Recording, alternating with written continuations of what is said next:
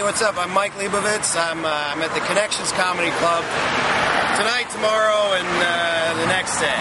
So it's Thursday, Friday, Saturday, the first through the third. I mean, if you're watching this late, it really doesn't matter. So, but I'm here. I live in Chicago. I've been doing stand-up about four years.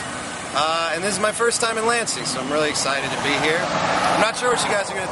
I don't know what you guys are gonna think of me. I hope you're gonna like me. I feel like uh, I'm never sure what impression I give off. You know, when I go up on stage. I think it's a generational thing. Like, like I think like people my own age, they see they see me going up on stage, and they're just going, "All right, I guess we're about to see Wario do stand-up comedy," you know, whatever.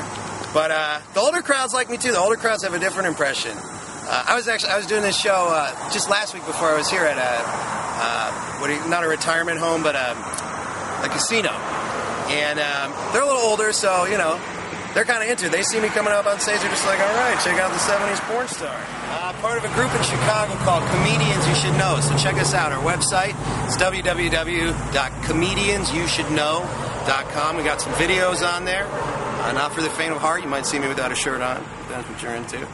Uh, we also have a CD that we put out. It's a group of six comics in Chicago. CD is also called Comedians You Should Know. You can pick it up at the website.